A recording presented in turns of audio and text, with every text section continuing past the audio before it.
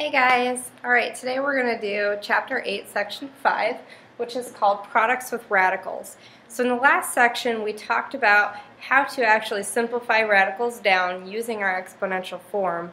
Now we're going to do products with radicals and we can change it into exponential forms to make that easier for us. This is a pretty easy section. Again, this is all stuff that we've done before in exponential form. All we're doing now is moving it over into radical form. So the first thing we have is the root of a product theorem, and that says that if you have x times y to the 1 over n, okay, what you can do is you can split that up into x to the 1 over n times y to the 1 over n. And that's in your power form. In the radical form, we can change it the same way. So again, you've got that x times y underneath that root. That's the same thing as splitting it up into two separate roots. So for example, if I wanted to simplify the fourth root of 16x to the 12th, I can split that up into the fourth root of 16 times the fourth root of x to the 12th, which I rewrite, of course, as x to the 12 over 4. And the fourth root of 16 is just 2. And x to the 12 over 4, that simplifies to x to the third, so my answer there would be 2x to the third. If I want to do the same thing over here, I've got the square root of 4x to the 6th. So I can rewrite that as the square root of 4 times the square root of x to the 6th. Or if you wanted to write it in your power form, you could write it as 4 to the 1 half times x to the 6th to the 1 half. Now 4 to the 1 half, that's just 2.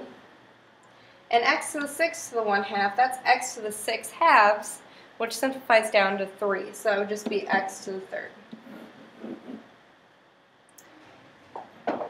Okay.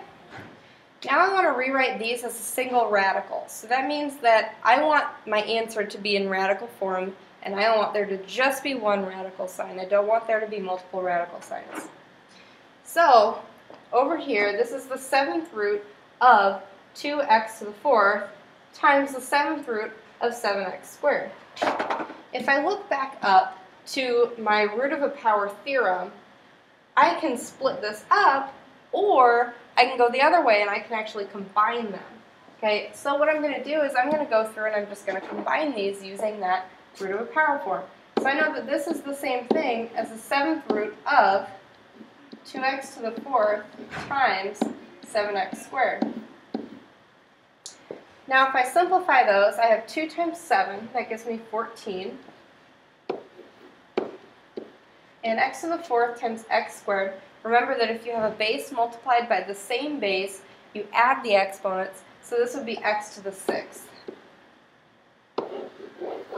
So right there is my solution. Okay, I can do the same thing over here. I notice that both of these are fifth roots, so both of those are fifth roots, I can combine those by multiplying them inside the root. So I've got 4x squared times 100 x to the 12th y. So if I take 4 times 100, that gives me 400. If I take x squared times x to the 12th, that gives me x to the 14th. Again, if I'm multiplying those bases, I have to add the exponents. And then I've got this y here. Okay, so that is my answer. Alright, so the next thing that we can do is called a geometric mean. Basically in a geometric mean, all you do is you multiply all the numbers in a set and take the nth root of that value. So for example, if I have five different numbers, I would take the fifth root. I would multiply them all together, and then I'd take the fifth root of that number. So if I want to find the geometric mean of the integers from 1 to 10 to the nearest hundredth, first of all I need to multiply all those numbers together. So I'm doing integers from 1 to 10. So I'd have 1 times 2 times 3 times 4 times 5 times 6 times 7 times 8 times 9 times 10. Okay, then I'm going to take the nth root. So I have 1, 2, 3, 4, 5, 6, 7, 8, 9, 10 numbers. So that means I'm going to take the 10th root of that whole thing, and that's going to give me the geometric mean. So if I do that on my calculator, got 1 times 2 times 3 times 4 times 5 times 6 times 7 times 8 times 9 times 10 Okay, and then I'm going to take that to the 1 tenth,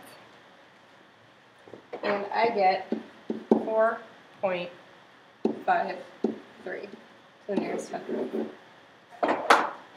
And I round it up because it asked me to do it to the nearest hundredth. So that is how you find a geometric mean. And that's everything for section 5.